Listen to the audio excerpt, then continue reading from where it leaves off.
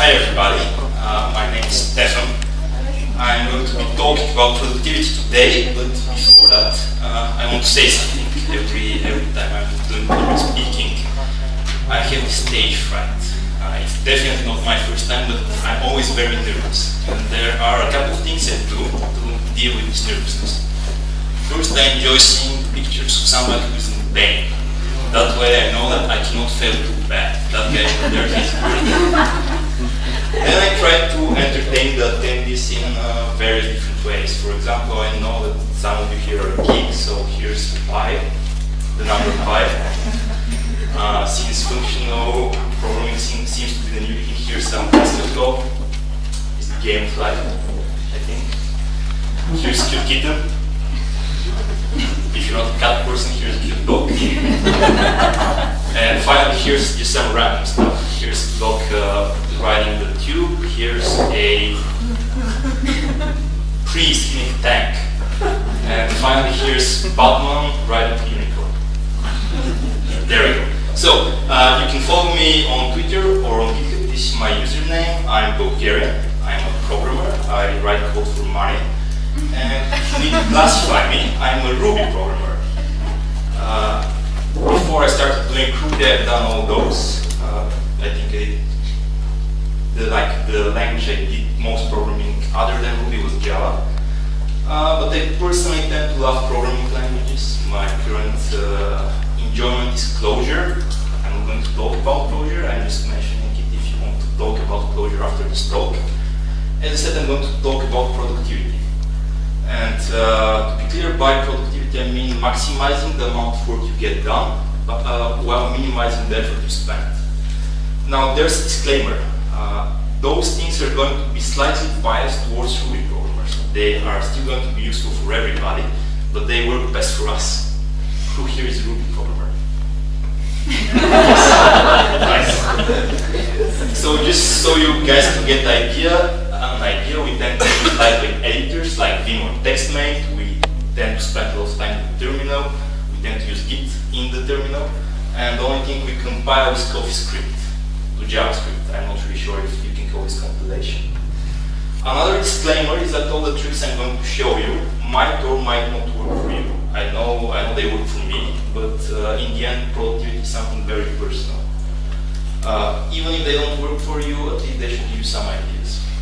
So I've broken my talk in four general subjects. General productivity, things applicable to everyday life, things applicable to the office, things to programming, and finally, how to make your own productivity tools. I've organized this into 24, let's say, suggestions. And this talk is going to have a slightly unusual format. So everything is going to be time boxed. And Ali told me that I should involve you. So here's how we're going to do it. I'm going to begin with a four minute intro, the one I'm doing right now. And then I'm going to talk about the first subject for about 10 minutes. After this time, let's do Q&A. Uh, if you want to ask me something, do it. If you want to share your experience with productivity, do it. Or if you want to tell me that an idea I showed you stupid, do it. Then we go back to the second subject, we do Q&A again, and so on. And again, please feel free to share things that work for you, not only questions. So, let's begin with general productivity. My first suggestion is about keeping track of the things you do. And I propose maintaining only three lists. Let's call the first one the to-do li to list. Uh, write down there things you must do, like obligations or commitments. The second one is the watch list. Put down things you need to remember, things you need to follow up, or things you're waiting for to happen. And finally, a later list, where you put everything that you would eventually want to do if you have time. Then, uh, each night before you go to bed, pick from three to five items from those lists and write them down on a piece of paper or in a card. And just try doing it on the next day if you if you start doing this approach, you discover two things. First, it's actually hard to do the three things you wanted to do on the previous night, and second, uh, you'll be surprised how many days you spent where you didn't get three to five significant things done. Second suggestion is about using timers and alarms. Now, this is all about getting into the flow.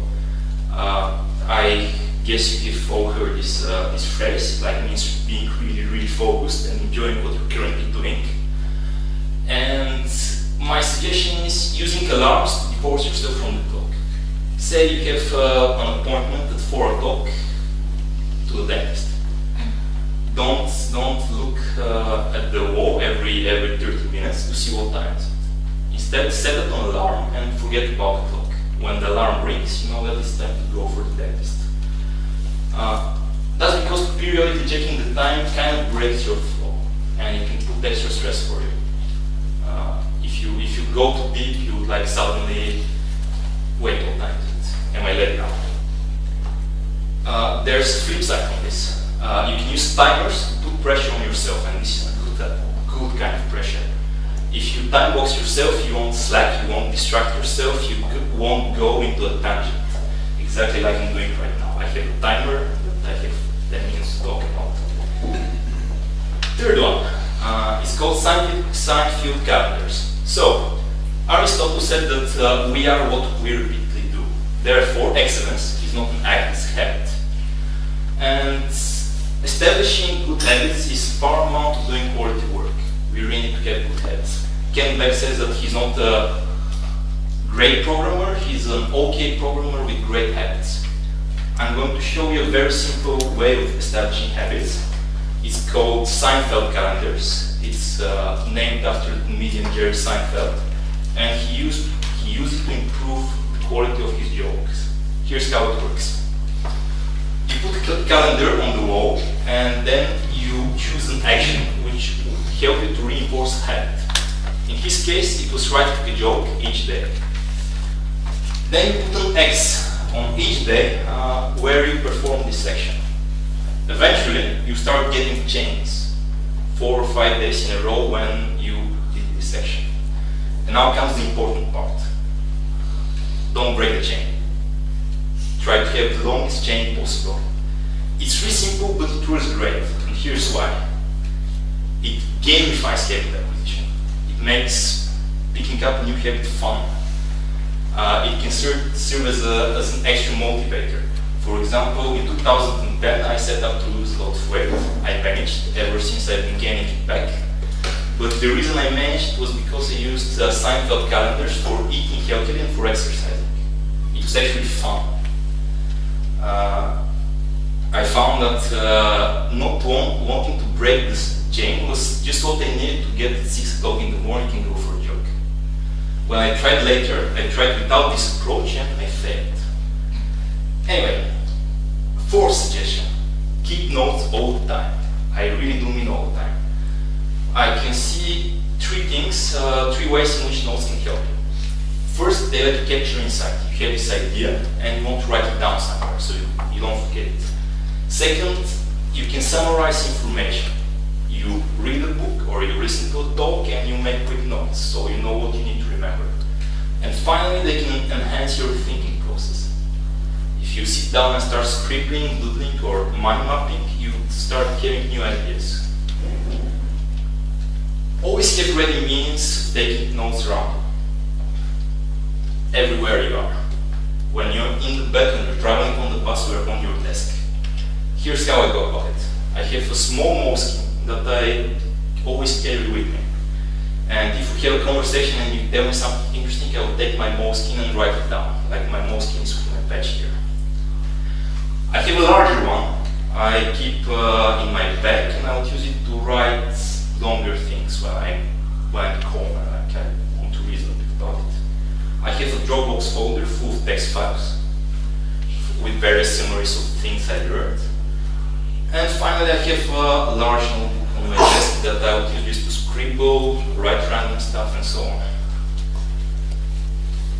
There are other things that might work for you. Voice memos, you can use index cards, you can create your personal wiki, you can use specialized soft software like Evernote. It really doesn't matter.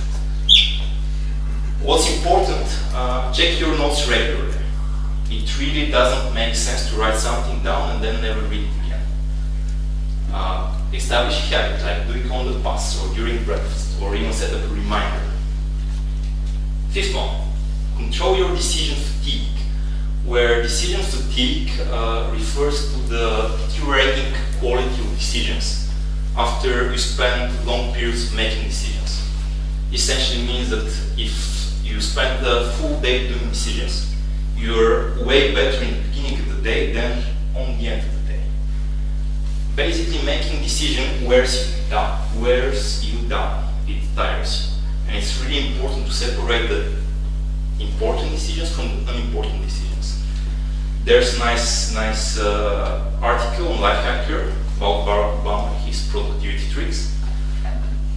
Uh, just to give you an idea, so he has a wardrobe with two kinds of suits, blue suits and gray suits. One day he will pick the blue one, the next day he will pick the gray one, the next day he will pick the blue one again. He keeps alternating them. He doesn't spend any effort in the morning deciding how to dress. So basically avoid making those kind of decisions with strict routines. Like here are some things you can apply to. Where to go for lunch, what to listen to, when to check your mail, when to leave work, or even when what to do next.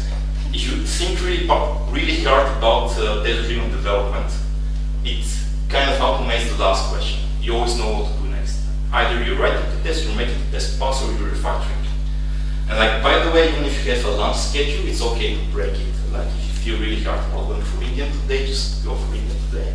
Don't care what you decided yesterday but still it's nice not to have to think about this. And finally, learn how to learn. Our ability to learn is our most important asset as knowledge workers. There's uh, really a lot to say on the subject and I'm not going to go there. Instead, I'm going to try to get it read book. And this is a book. It's called Pragmatic Thinking and Learning. It's easily the best book uh, that came out from the Pragmatic bookshelf. It's uh, really nice to read and it changed my life. Probably changed yours. So, as I said, I'm going to break this into four sections. I'm at the end of my first sections. Now we have four minutes for Q&A discussions. Yes? If I understood you correctly, you are uh, saying that it is good to stay in the zone as much as possible when we are the most productive. Yes. Uh, Uncle Bob says otherwise. What is your opinion about this? What exactly does he say? Uh, first of all, he says we should avoid the zone at all costs so that we can uh, have a larger uh, perspective on our code and on our production of code, our programming. Fair enough. So that case, I should say find a way to like uh, get the perspective occasionally while still being able to go in the zone. Like, uh, for example, find a way to be able to spend 30 minutes in the zone and then spend 30 minutes outside the zone so you can take a perspective and then go back again if you really need to do something hard. Since if, if your problem is hard to solve, the zone is where you want to be. Okay. And of course there are different types of work, so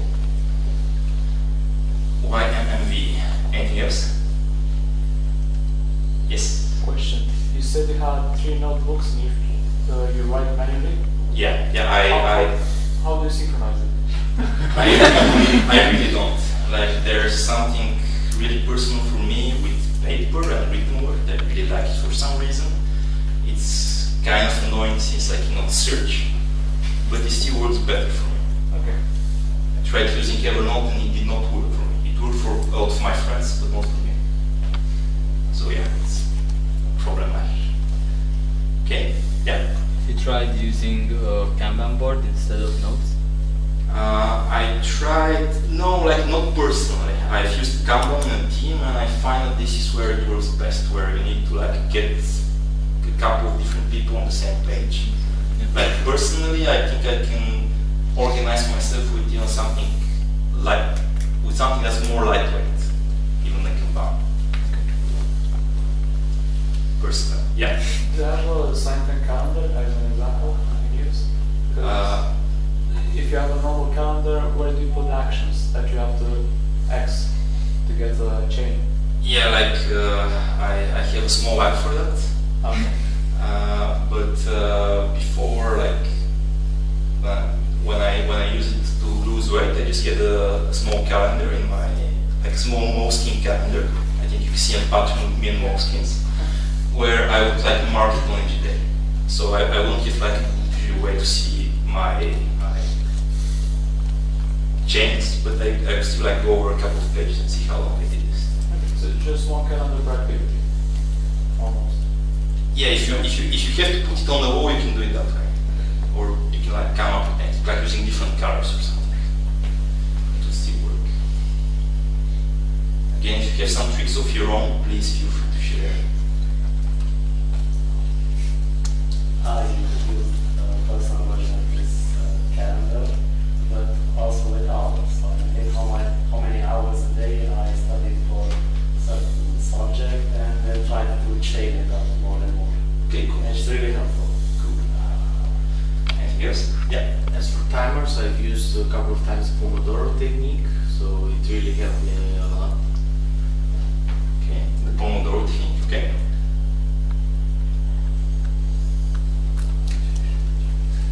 Okay, I assume you don't have anything else to add, so I'm gonna go forward and talk about work. Now, the first, the first suggestion is maybe the most controversial, and it says no instant messengers. like uh, eliminating distraction is the key to achieving flow, and instant messengers are the mother of all distractions.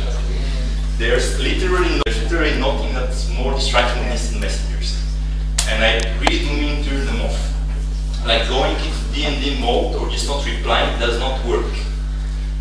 Uh, it takes just one long close friend to ruin your day. like you have this childhood friend, you haven't seen him for like a year, and he writes something to you on Skype, and you're, whoa, what's up? I haven't seen you in a while. And there goes your productivity.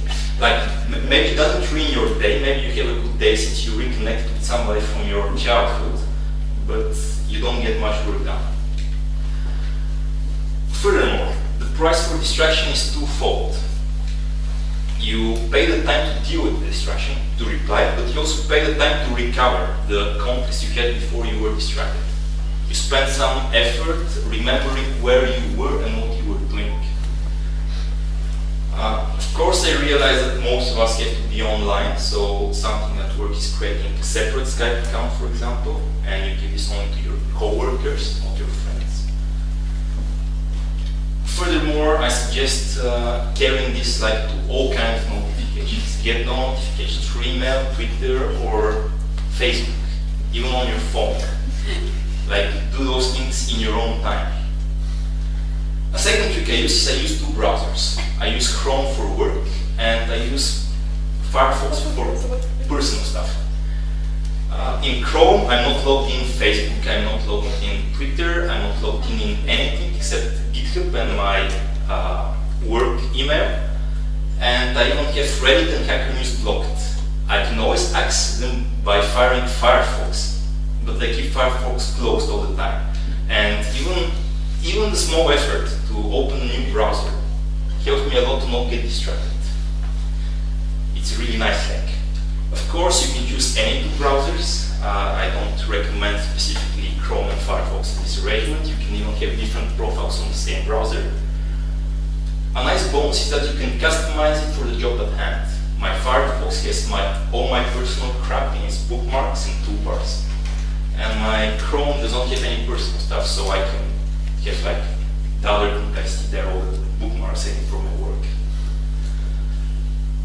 Number nine, uh, is a specific way of using to-do list. Uh, I learned that from Kent Beck, Kent Beck, I think. And here's, let me tell you how it works. So you start with an empty list and you write down everything you have to do today. Afterwards, you pick up an item and start. And while you're performing this item, you'll discover that you have other things to do. Maybe you need to refactor this function. Maybe you need to change this class name. Maybe you need to send an email. Maybe you need to take a note. Here's the important part. Don't interrupt what you're currently doing to do the refactoring or to send the email. Write them down in the list. Continue with your task, finish it, and afterwards, uh, when you're done, pick another item, maybe the item you just wrote. But don't interrupt yourself. Keep focused on one thing. And like finally, at the end of the day, you can carry the unfinished items for tomorrow. So, again, first, it's important not to interrupt yourself. This will break your flow. And second, it's important not to task your brain in keeping track of what you need to do. It's way easier on your mind if you write it down and you forget about it and continue doing what you were doing before. Here are a couple of things it's applicable to, refactoring scope, phone calls, emails, even taking notes. I would often write taking note notes and continue taking. Here's how my list looks at the beginning of the day. See that they use paper. Here's, here's how it looks at the end of the day. Some stuff are crossed, some stuff I'll carry on the next day. Here's another radical one. Schedule email checks by SME. Pick some specific time slots for dealing with email, and then read your email only in those two slots. Why? First, dealing with unexpected email can distract you. Maybe you're maybe you're uh, not on Skype, but the long close friend would write an email, and now you're stuck in writing a one-hour-long email just to reply. Furthermore, once you open your inbox, you don't know how much time you're going to spend there. It's very unpredictable. And like finally, at the end of that slot, try to have your uh, yeah, sorry, like basically, you should control your email. You should not let your email control you. You should deal uh, with uh, email on your own time, not deal with email when your email wants you to deal with it. I was going to say that at the end of the at the end of each session, you should try to leave your inbox empty, also known as inbox zero. So I've heard that the perfect schedule would be twice a day. I I've, I haven't gotten that far. I think I check my email like six times a day. But I think I manage. Maybe it's not very realistic. Realistic. Number eleven, the Pomodoro technique. Uh, I'm not going to go far into it. I'm just going to say that it's my secret weapon. It uh, fits quite well with all the other things I talking about in this talk. And it's really sweet. I encourage, I encourage all of you to like check it out. Don't don't just go on the site try to find this book. Another pragmatic picture book. It's quite short and has pictures, so it's easy to read. And even if you don't uh, end up using the Pomodoro technique, it has a lot of good ideas about productivity that you might find useful later. And finally, touch typing. As programmers, we are professional typists. Basically, we spend our days typing on. And we, we tend to think that, uh, we tend to say that typing is not the bottleneck. Thinking is the bottleneck. It's way more, uh, way, way harder to like design a system properly than to type the code. But typing can be the bottleneck if your speed is low. And the same goes for, for like interruptions. If you type really slow, you might forget why you started typing in the first place. this is really, really evident when you have a fast typer pair programming with a slow typer. If the slow typer is at the keyboard, the fast typer gets really confused since he's used to, okay, let's write this, and getting feedback way faster. I personally type fast, and if I type, if I pair with somebody who's slow, I, I find it hard to focus. So I'm going to make the bold claim that if we are programmers, the minimum speed we should have is 80 words per minute. It would be, would be 100 words per minute. And yeah, I'm, I, I'm pretty certain by those numbers. Like I have repetitive strain injury, and I can type with 100 words without a problem. The good news is that this is quite easy to achieve. Just pick a typing tutor and spend 10 minutes a day with it. Doing touch typing. By touch typing, I mean 10 fingers without looking at the keyboard. Should go without saying. You will have results in less than a month. And this is really important. Don't stress your hands. Like if it starts being painful or tiresome, just like rest and slow down. You really don't want to injure yourself. It might be very career threatening. And finally, this is my personal belief, but I don't think that you need to learn an alternative alternative layout like Dvorak or Colemak. QWERTY is fine, especially if not if you're not an English speaker, a native Like both those are optimized for typing text, but we don't type text, we type code. Of course, you a lot of street cred. You're extremely cool if you're doing it in Dvorak. You can impress your friends, but I don't really see any other any other benefits. And again, we are at this point of talk. Questions, comments, or other ideas? if uh, we discover that we have new tasks to do while we are doing the current task, and we start to noting it, isn't that an interruption already and we require other time to get back to continue our task? Yeah, well, it's very small interruption. Like it takes you a couple of seconds to write down what you need to write down.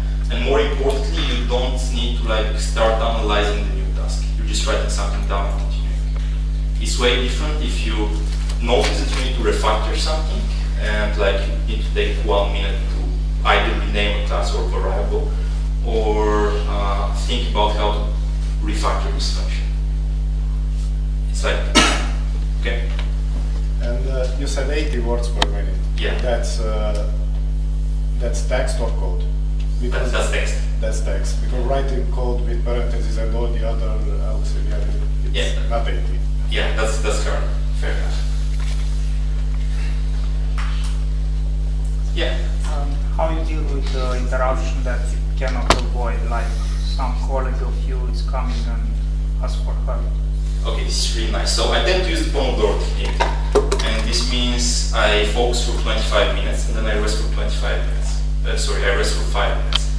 So I have this cap and uh, and uh, those headphones, and whenever I wear them, my colleagues know that I'm in a Pomodoro, and they would, I would come to my desk yeah, agree, a Pomodoro. I'm to come back later, so they just don't this uh, don't interrupt you. Or if it's really important, uh, they would interrupt me, and I would stop my Pomodoro and go and help them.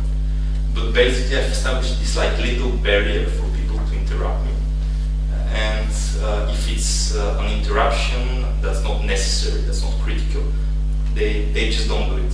Like I think that can help is having earphones in your in your ears, like listening to music. People are less likely, likely to interrupt you. You don't really need to be listening to anything. You don't even need to have plugged the earphones anywhere. just having earphones then keep people away. Yeah, it's kind of antisocial. Then you then you take breaks to know. Yeah. You can, you can also add a sign on your desk, I mean Pomodoro to disturb or something like this. Yeah, it's a good idea. I actually have a, an application. There's an application called Tomato where everybody can see that I'm in Pomodoro and how much time is left. It's really useful. Question. 25 minutes is enough to start working, get concentrating and be productive, and then stopping for 5 minutes and doing something else? Yeah, if you if you really get used to it. Like it's not it's not easy for like the first two weeks. But afterwards when you start a timer you suddenly go into flow and like you forget about the rest of the world. Okay. uh, it's like hard to adapt. There's a period where just won't happen, but after a while you get used to it. So it, it does get better. Yeah, it does get better. Uh, it's all explained in that book. Of course, like I've heard that some people tend to do shorter or longer pomodors. I stick to 25 since I like conventional over configuration. Okay, anything else? Yeah. Do you have any larger breaks? I mean, only those five minutes or? Well, like I, I do three pom I do three pomodors with five minute breaks, then a, a 15 minute break, and occasionally you throw in a lunch break somewhere. So yeah, I have more breaks. Isn't Pomodoro uh, in a, isn't Pomodoro against uh, communication in the team? I mean, we are interrupting ourselves much, much frequently than 25 minutes. Yeah, I'm saved by the time. Short answer is no, but I need to elaborate. Anyway, let's carry on. How to be productive while writing code? First and more obvious, utilize shortcuts. I don't think it needs saying, but with shortcuts you tend to do more things in less time, just like uh, when you type fast. Shortcuts come in all shapes and sizes, and I suggest learning all, or at least trying to learn all. Here are some tips. First, introduce them gradually. Try one or two new shortcuts a day. There's simply no way where you can learn 30 new shortcuts per day. Second, have a cheat sheet and put it next to your monitor. That way, if you forget something, you can quickly look it up. And then third, reread this cheat sheet occasionally. There are two reasons. First, there will be shortcuts that you learn and then forget about. And second, it's good to know what shortcuts you have available. That way, when you encounter a problem that you can do with the key combination, you might remember to look it up. Here are some examples from Eclipse. This shortcut, which on Mac is shift, uh, is Control Shift and the up arrow, selects a larger region. It keeps expanding the region you've selected. Uh, and the second one is the extract local variable refactoring. So if you're proficient with Eclipse, you probably do this. You hear this code and you want to extract the parameter to system out println, the variable. You put your cursor there and you keep hitting this shortcut until this is selected. Then you hit the shortcut, you type the message, and you get your variables, variable extracted. That's how I used to do it when I wrote Java. Here are some cooler ones in Z shell. Escape Q pauses the command you just typed. It clears it and lets you write another command.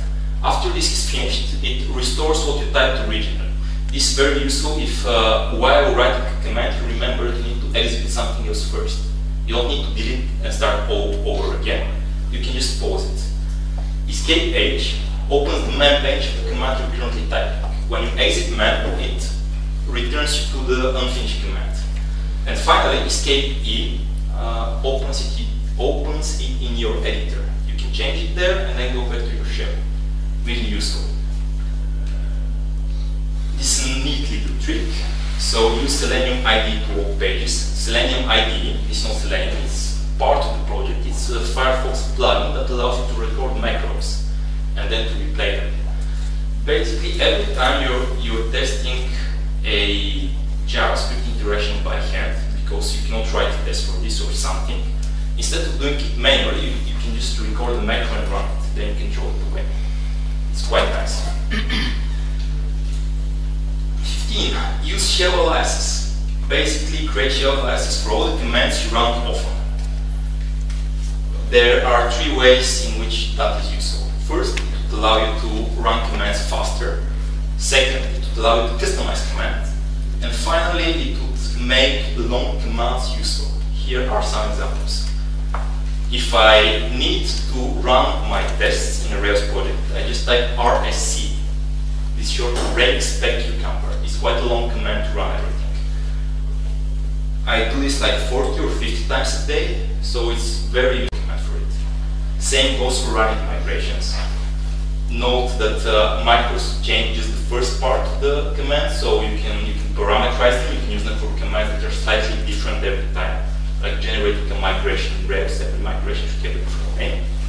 Or for running bundle exec, which I guess you guys don't know about this because you don't do Ruby. Lucky you. Second one, you can customize commands. Uh, for example, I always want my tmux to run with 256 colors. And that's why every time I type tmux, it actually is being replaced with tmux minus 2. And then, uh, by default, Clojure doesn't have uh, readline support, so I cannot go back in the history of the REPL. This is not very nice, it has to do with the license, the readline library. But there's this nice little tool called rlwrap, which cannot read-line functionality basically anything. And I've asked my Clojure command in my shell to run rl wrap and then Clojure. And that's how I have read-line when I run Clojure shell. And finally, when I use Git, I really like sort this out. It's a very nice output since it shows all the branches, all the merges, all the different uh, heads. But what's bad about it is that it's quite a long, quite long command. I really don't want to type git log graph decorate pretty one line break me all every time I want to see the history. That's why I have this, this. Git L-O-L-A.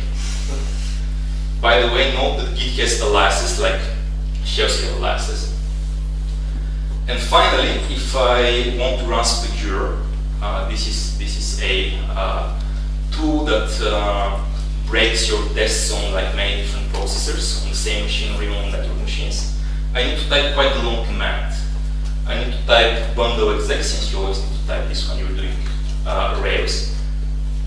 I need to do xvfb run in order to not have a Firefox Windows pop up. and I need to specify a certain port that happens to be uh, happens to be occupied on my current machine. This way it's not actually automated in some way, it's not committing version control. See, this is my personal command for running tests. But still I don't have to write this like long thing every time, I just write SPG, SPJ. There's a project called Oh My Z Shell, uh, which is a customization of Z Shell, and you can hunt it for quite nice ideas about lasts. So, Guard and Watcher, two Ruby gems. Both of them monitor your file system and both of them react on changes. The most popular way to use them is to run your tests immediately when you save a file. For example, when you save the user RB file, it immediately runs uh, user test.rb. This is called continuous testing. It's really cool since uh, it's like the, the fastest feedback you can get from your tests. And that's at least one way to use guard or, or guard and watcher or their equivalent for your environment. But there are other cool uses, like you can use them for compilation, for static checking, linting, tolling stuff, even checking out the repository. Again, there's a book. It's a short one. 17. Cache stuff locally. Basically, if you look at it often, have it on your machine. It doesn't really matter how fast your internet connection is. You still pay a penalty to access, access over the wire. As a bonus, you can use it when you're on an airplane or when your ISP is down. Furthermore, putting things within arm's reach makes it more likely for you to use them. For example, I really enjoy reading the Pragmatic magazine, but I find that I just can't bother to open their site every now and then. Uh, I wrote a small script that just downloaded everything my machine, and now I can open it with Alfred way faster. You can, if there's no easy way to like cache things locally, you can use wget. You can download their sites, or you can write your own shell script, your own scripts that do this. And finally, spike when uncertain. This is an interesting point. I don't know about you, but for me it's very hard to test drive an. Especially this unfamiliar technology is a framework, something I need to know how to fit in.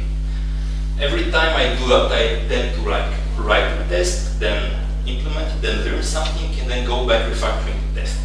Know that I go back refactoring the test, not like writing new functionality or refactoring the production code. This is called yak shaving, and it's really not nice. So what I like doing is I like doing spikes. Basically, I stop writing texts for a while, I time box myself, say two hours, and I write some throwaway code just to like learn something. I would even put my cowboy hat on, so I can go really cowboy on the code. Uh, like I don't care about I don't care about uh, keeping it clean. I don't care about making it clear. I don't care about having tests. After I've done this and I have learned what I need to run, I throw it away and I TD it up from scratch. And it's really important. You need to resist the urge to keep it. Nine times out of ten,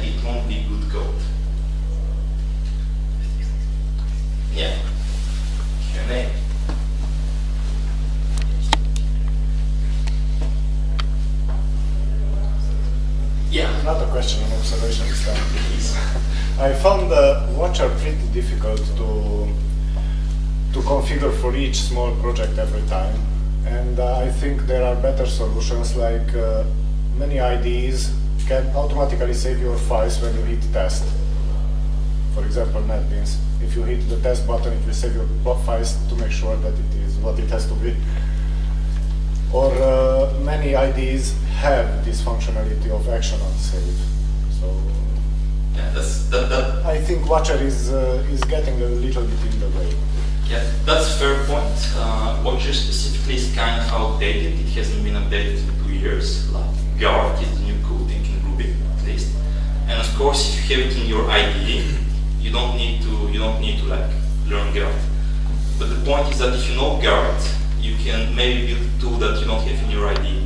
You can use it for something else, like linting your JavaScript if you don't have, or linting your iced coffee script. I really doubt that there would be an ice coffee script plugin for Eclipse. but yeah. No, but there is an action that you, there is an action on save, so you can basically execute anything you want. Fair enough, fair enough. That's kind, that, that's kind of the same thing. That's, Yes, Yeah, but inside the ID, not in some external. fair enough. Anything else? Awesome.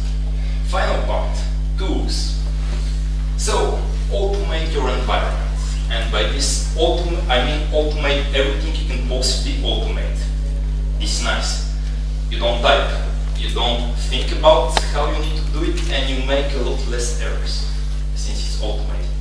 But maybe most importantly, automation can store knowledge. Once you write a deploy script for your project, this script can serve as living documentation of how your project is deployed. You have an array of tools. You can do it with shell scripting, you can do it tools like Rake, Make, or Ant, or you can use a full-blown programming language to do your automation.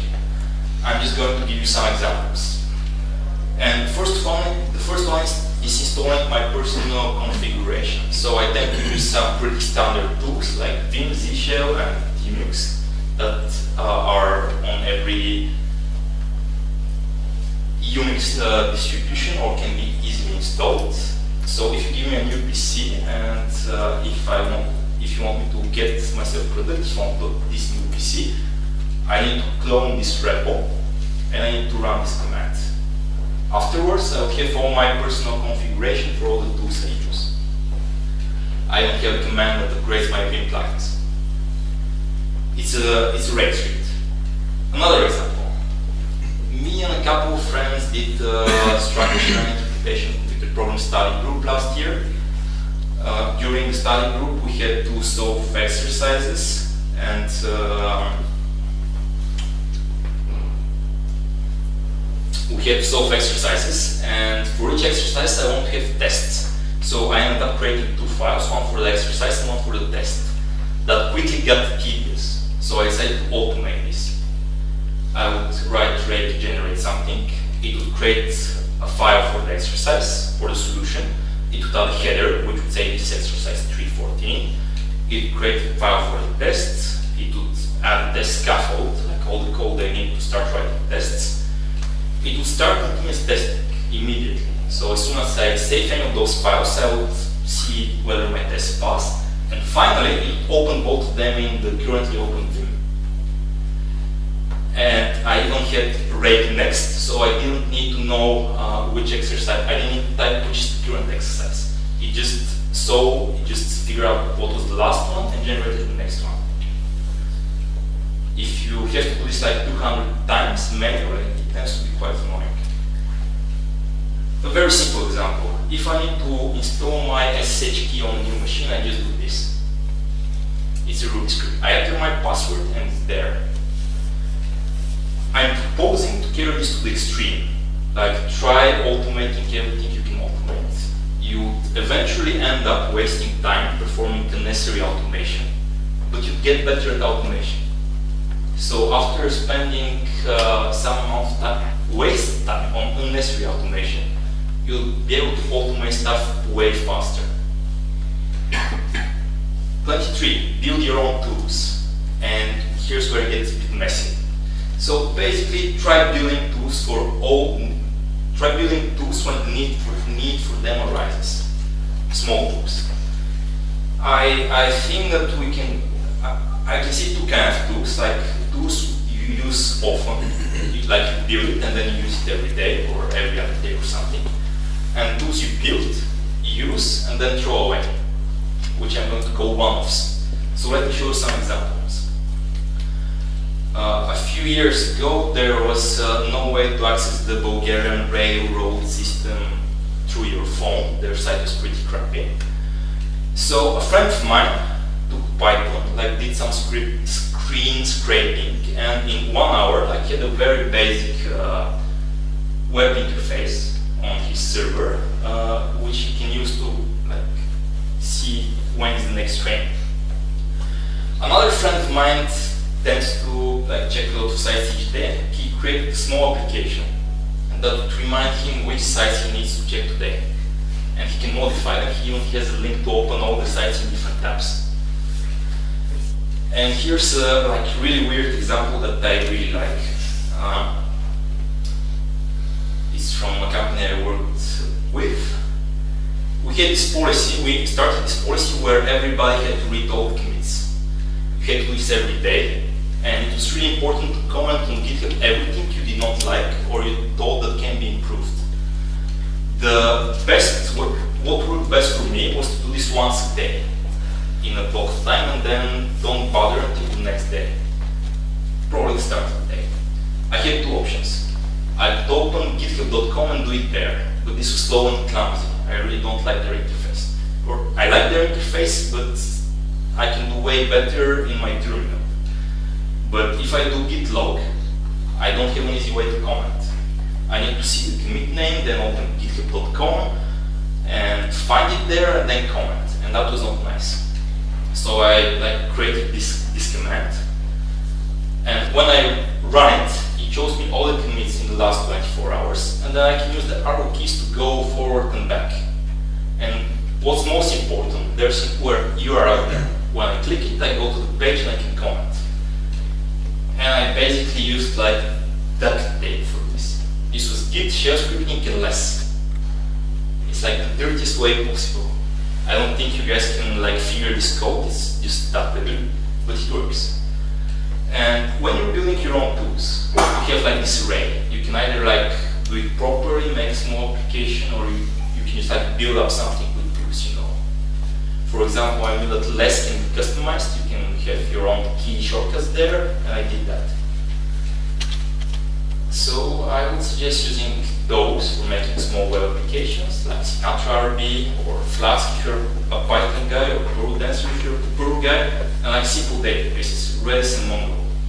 You can even use Twitter Bootstrap if you don't care about all your applications looking the same way. And here's an example from one of two.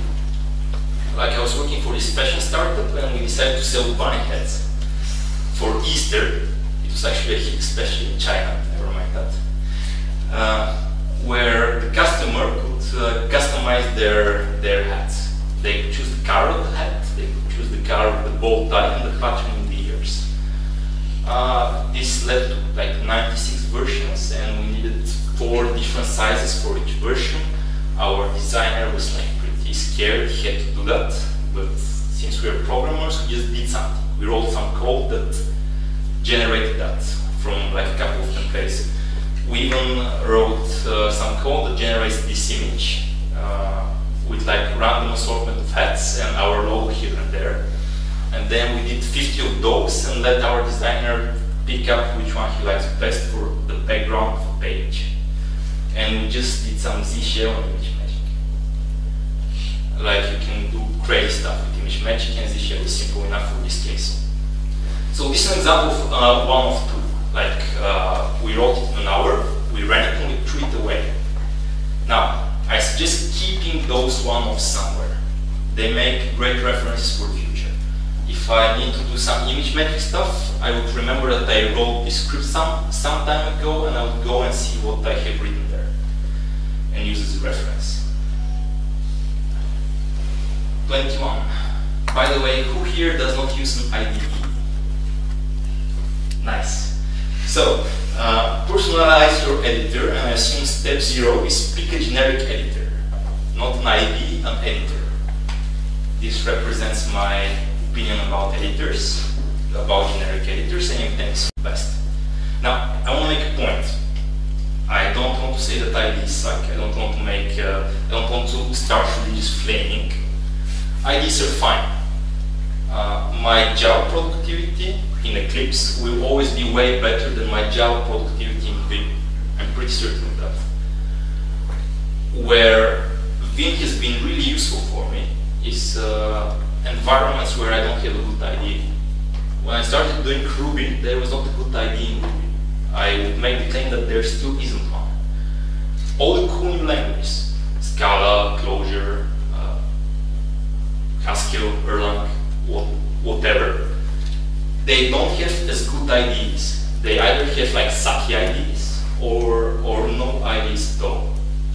even even if I'm familiar with Eclipse, I'm way more proficient in my Vim than I'm in in like the Clojure plugin for Eclipse.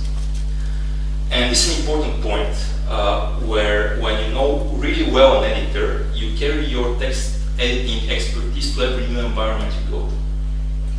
If if I was a Perl programmer and I need to become a Ruby programmer, it's pretty easy for me. I don't need to learn a new IDE. Also, we tend to live in our editors or IDEs, if you will, and all improvements we can squeeze out of them are worth it, even the small ones.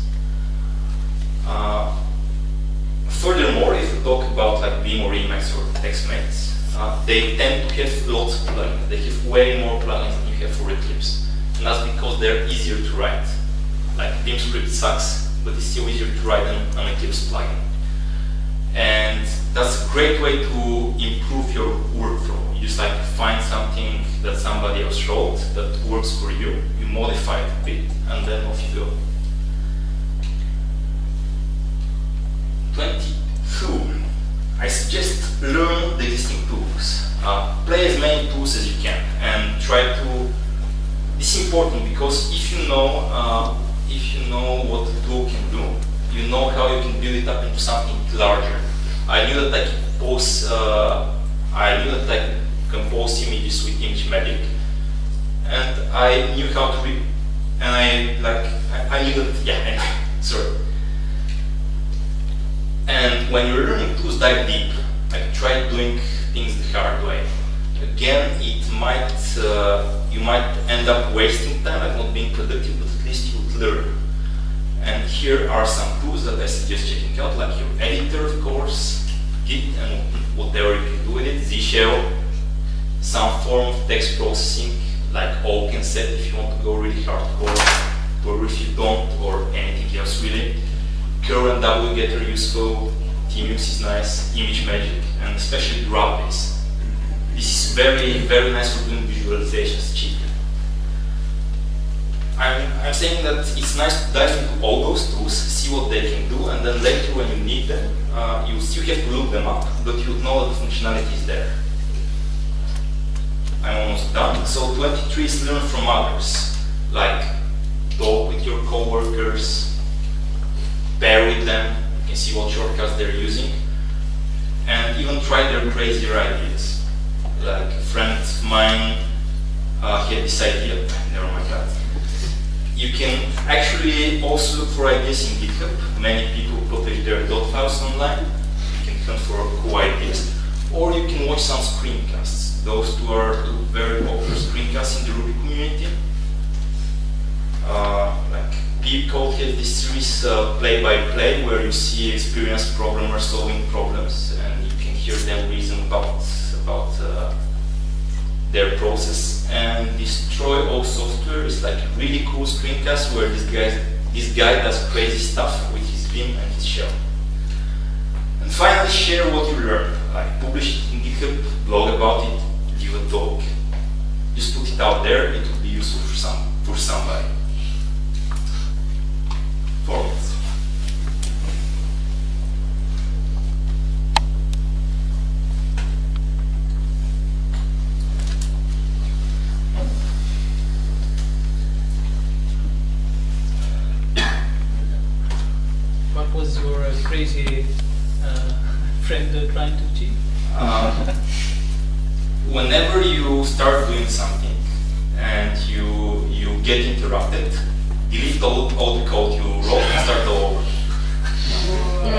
crazy indeed.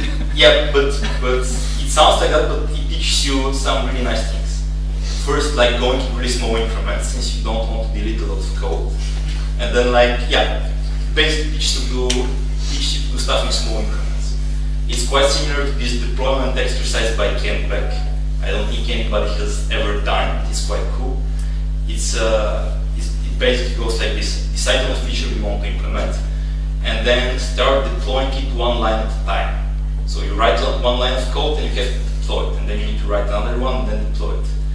And eventually people get annoyed by how much time deployment takes and start optimizing it. It's kind of similar to that. It's a nice exercise. Actually, there is a cool plugin for Eclipse that uh, can at a specific time, revert your, all your changes. So if you in 10 minutes you didn't commit, you are back where you were. Fair enough. I can see that there are a lot of plugins for it. Yes. So, in order to become more efficient, you have to monitor all actions that you do. So, what kind of tools do you use, or how do you analyze how efficient you are? Yeah. Uh, How, how do you know that you made a good choice? yeah, like most of the time I tend to go on gut feeling. Uh, I, I can tell that uh, today I spent a lot of time being confused, or today I spent a lot of time get, lot of time getting crap done. But uh, I tend to go with the Pomodoro technique.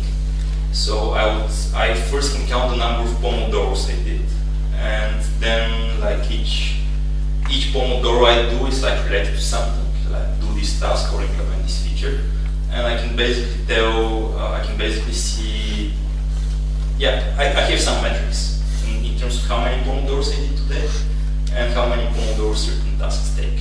So over time I would see that I will do more Pomodoros and accomplish more with less Pomodoros. It's not like super rigorous. Yeah. It's like you're not trying to measure the actual tool that you use, just how you react to it, how, efficient you are as a person. Yeah, I mean I would everything. yeah, I would really love to like measure how efficient I am, but I just cannot come up with good things to measure that are actually objective. Okay. So I, I most of the time I just like go on gut feeling. But by all means, if you can find something to measure, go ahead.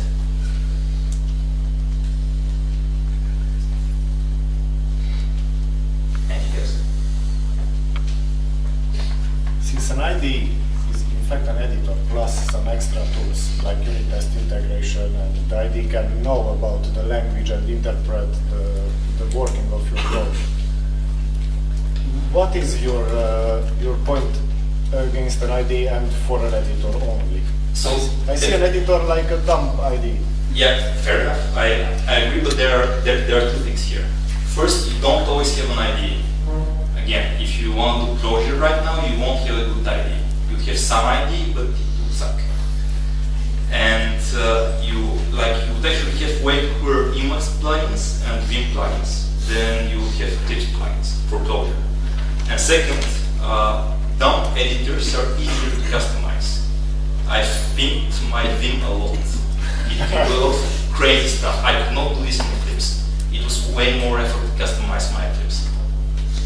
Okay, so you probably have noticed that I tend to recommend books.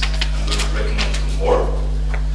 Uh, one of them is called The Productive Programmer. It's a short book, nice ideas. It basically covers all operating systems and uh, different approaches, like what is for Ruby people and Java people. And the second one is all about overcoming procrastination. It's called the, night, the Now Habit, and it has some neat ideas. Uh, from what I can tell, I'm finishing one minute earlier. Sorry. Go ahead. From what I can tell, I'm finishing one minute earlier, so thank you for your time. And if you if you want to talk to me about this stuff, just find me somewhere. I would love to do that.